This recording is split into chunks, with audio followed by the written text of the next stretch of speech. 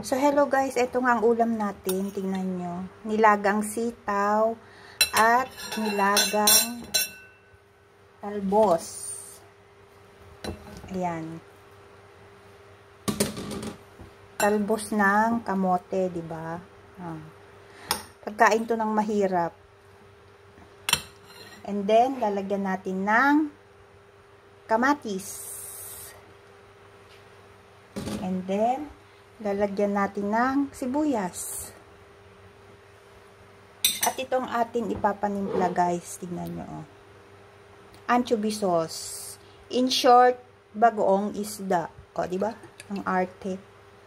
And so, lagyan natin ng konting pampaasim. So, ito yung gusto kong timpla ng aking nilagang sitaw at saka nilagang talbos ng kamote. So, ito nga paghahaluin na natin.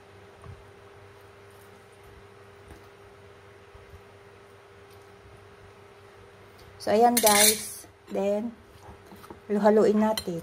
O, ba? Meron ka ng salad. Yeah, ba? Pagkain ng mahirap. Mm. Talbos ng kamote, tsaka sitaw. O, ayan. Pagkain ng mahirap. O, ba? Sarap.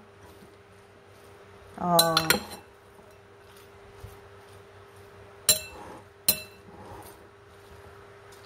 Itong aking lunch. So, ganito ko lang siyang kakainin. Hindi ako magra-rice. Diet-diet yan. Oh, diba guys? Sarap yan.